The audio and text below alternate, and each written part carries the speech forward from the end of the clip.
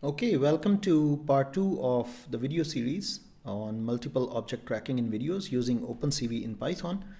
Uh, in part one, we saw um, the importance of object tracking and particularly we, we saw how can we track a single object in a video using OpenCV in Python.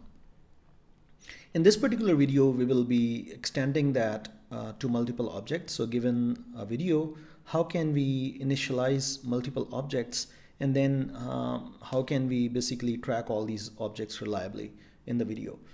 So the basic idea behind multiple object tracking is like um, each, each object is tracked by a single tracker, but we have multiple trackers now. So one object is tracked by one tracker, another object in the same video is tracked by another. So each tracker is working independently um, to track its object. So we can have multiple objects, which means there are multiple trackers uh, where each tracker is on its own object. Um, so, so basically uh, this multiple object tracking is then it, it basically reduces to single object tracking, uh, but we have multiple single object trackers uh, to, to track multiple objects in a video. So let's see its coding. Uh, its coding is much similar to how we track single object with a little bit modification. So we'll be referring to the coding that we did in the last video, uh, in, in the previous in part, uh, part one of this video series. So let's start uh, coding this. So we have this uh, tracking single object. That's the code that we wrote uh, in the last video for single object. And here is the code that we are going to write for uh, multiple videos. So let's copy and paste some, some of the things uh, that we need exactly off the shelf from there. So first of all, we need that. So that's perfect. Then we need, um, if we want to use different trackers for different objects, um, just in case, these are the trackers available in OpenCV. So let's just copy and paste. Everything is fine right now. Um, in, in, the, in the previous video, we initialized a tracker because uh, we had only one object to track. Here we have multiple objects to track. So what we will do, we will initialize, we will actually create a multi-tracker. So that is that line is a little bit different than the previous uh, code. So now we do not have only one tracker, but we have several trackers. So trackers cv2 dot multi tracker um, underscore create.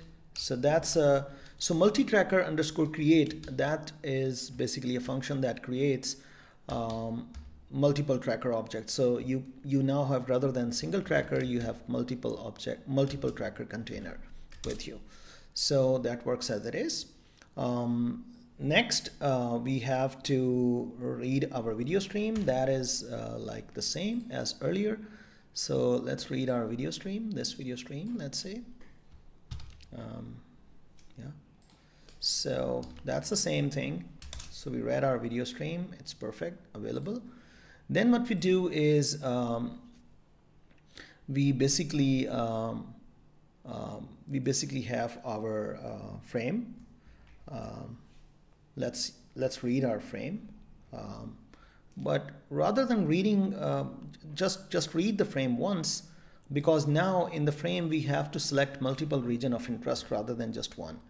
So let's, uh, let's read our frame there. So the first frame is red. Again, no change so far. Um, the change here will be the following. So what we will do is um, we let's say we let's say we have uh, let's say we have three objects to track. Let's say k is equal to 3 so what we'll do is we will initialize three boxes. So for i in range 3 uh, k in this case k what we will do is cv2 dot imshow um, frame that's a window name frame the first frame that we just saw here uh, bounding box bb is equal to uh, cv2 dot select region of interest um, window frame that's our window and uh, then we have this frame that's it. So it will select the uh, region of interest. But that is uh, first box maybe or ith box um, so let me write this uh, ith bounding box BBI ith bounding box on the same frame. So what we really want is uh, we have to create a tracker here. Let's say uh, tracker for object i tracker i tracker for object i. That is basically um, tracker dictionary uh, dict and whatever tracker we really want. Let's let's use csrt or maybe anyone maybe any tracker. Let's use this one. And this for uh, calling that create uh, function method. So let's use that. So that will create a tracker. Now I want to add this tracker uh, with it with its initialized bounding box to my trackers container because I have several trackers here. So trackers trackers dot add. This function will allow me to add ith tracker uh, along with the frame and its bounding box BBI. That's the bounding box for. And now these will be uh, added exactly uh, like earlier, but now we'll be having uh, three bounding boxes rather than just one. So let's run uh, this code and see what happens. So yeah, so that's the frame. It will allow us to basically draw three bounding boxes. So let's have the first bounding box, this one. Let, let's track this object. Um, let's track this object. Oh, I just, um, I just forgot to press enter. I just forgot to press enter. I guess I'm doing something. Um, this and this and then uh, maybe this one so I have now three objects um, I'm done here three objects. I've initialized the three objects. Now I really want to track these three objects. Um, uh, maybe I can have more objects. Remember when you select region of interest when you draw a bounding box plus enter then that is selected not otherwise. So now the, the rest of the code is much like the same as earlier with with a little change. So let me let me just uh, let me just copy and paste the code from from the previous file and see where we really want to change the change the code. So that's the code from the last file. We changed here. So this is true this is true this is true. Here rather than having um, a tracker update we will be having trackers update because all the trackers they will be uh, they will be updating on next frame so the change is rather than a single tracker update all trackers they will update. And rather than they will return a box they will basically uh, return several boxes. Each um, each um, each tracker will each tracker will return its box. So you will rather be having one box you'll be having a lot of a lot of boxes. So further, uh, rather than having this, um, rather than having this one box, we may have several boxes. So let's loop over boxes for box in boxes. So we have several boxes. So for each box, we, we draw this, this rectangle. So now we have a loop rather than, uh, we have a loop rather than um, this um, so, so we have a lot of boxes. For each box, get the box and draw the rectangle on this particular frame. Um, we can we can have different colors. For example, we can have um, this more greenish and more bluish. This color, for example, for each of the each of the rectangle. Then rest of the story is the same. We have to show the frame on which all these rectangles should be drawn. Uh, then if the video is lengthy, um, maybe we have to, we, we may get a key from a user. Uh, if the key is Q, we should just break the loop and get out. Uh, if, however, the stream ends and the return becomes false, then we get out and we have to release the video. We have to destroy all the windows. So let's run this code. Uh, hopefully, this code should track uh, the objects that we just um, that we just saw here. So let's run this code just just to make this more viewable if it has no issues it should run properly uh, so let's see. Yeah. Can you see um, the three objects they are being tracked uh, in this particular video? Um, yeah.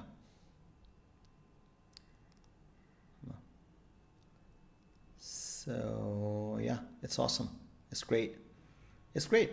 Um, wow.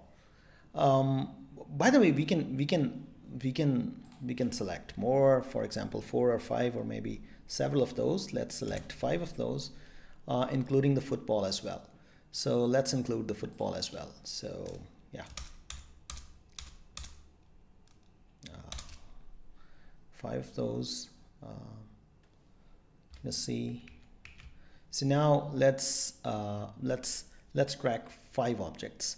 So let's say referee one press enter uh, football press enter um, maybe this guy press enter um, maybe this guy press enter and maybe maybe this particular guy. Let's see. Let's see what happens.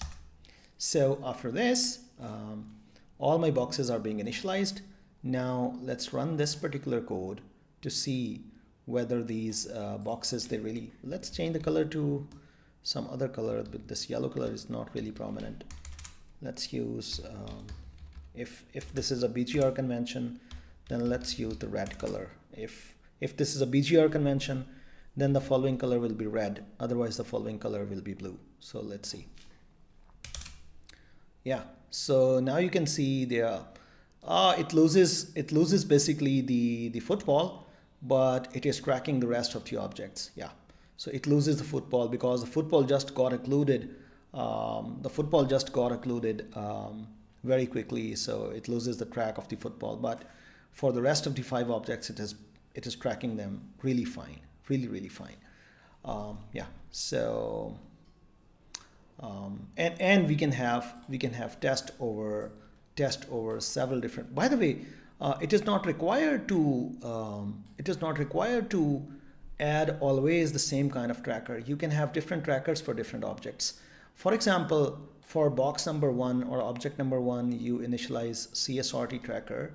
For another object you may decide to use KCF tracker. For another object you may decide to um, use for example MOSSE tracker or median flow. For example if you have several boxes several objects to track uh, you can use different trackers uh, for different objects because at the end of the day this multiple tracker use uses single tracker for each object and there is no restriction to use the same kind of tracker for every object um, for this particular object tracking. So yeah so that's the multiple object tracking code which is really really simple. Uh, just if you know how to track single object, uh, then it's a it's a little tweak in that, and now you can you can um, you can access multiple multiple objects. Okay, so uh, I wrap up this video here. Um, uh, in this particular part, we see how we use the single tracker to extend it to multi-tracker uh, to track multiple objects. In the next part of this video series, in part three, we will see how to save these annotations. Uh, if we if we, for example, have boxes for different frames, how can we use these, how can we save these uh, annotations in files so that if we want to use later on these uh, tracking results, uh, we can we can refer to these results. So how uh, how can we how can we basically save these results, these tracking results to a file and later on access them and uh, display them on videos. So yeah, hope to see you in the next part of this video series.